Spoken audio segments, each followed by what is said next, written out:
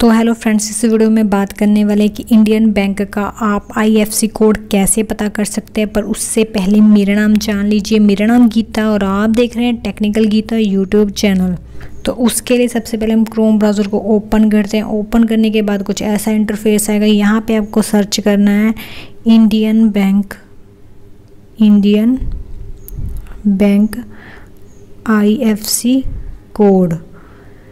इसके बाद आपको सर्च करना है। जैसे ही आप सर्च करें कुछ ऐसा इंटरफेस आ जाता है। यहाँ पे आपको कोड देखने को मिल जाता है बट हम थोड़ा नीचे जाएँगे ताकि हम लोग अपने स्टेट के अकॉर्डिंग सिटी के अकॉर्डिंग और ब्रांच के अकॉर्डिंग अपना जो आईएफसी कोड है वो पता कर सकें। ऐसे आप स्क्रॉल डाउन करते हो तो यहाँ पे आपको एक वेबसाइट मिल जाती है बैंक बाज़ार डॉट कॉम जैसे आप इस पर क्लिक करते हो उसके बाद नेक्स्ट पेज ओपन होता है। यहाँ पे आपको पहले बैंक सेलेक्ट करना होता है उसके बाद अपनी स्टेट को सिलेक्ट करना होता है।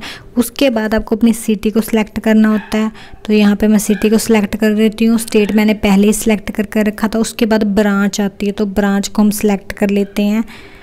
तो यहाँ पे हमने लुधियाना के ब्रांच को सिलेक्ट कर यहाँ नीचे आपको सारी इन्फॉर्मेशन मिल जाएगी आईएफसी कोड के बारे में जो कि आपकी ब्रांच का होगा नंबर भी मिल जाएगा आप कॉल भी कर सकते हो जैसे यहाँ पे दो नंबर शो कर रहे हैं। तो इस तरह आप इंडियन बैंक का आईएफसी कोड पता कर सकते हो। तो आई होप की वीडियो अच्छी लगी होगी। तो प्लीज़ जाने से पहले वीडियो को लाइक शेयर कमेंट और चैनल को सब्सक्राइब करना मत भूलना। Thank you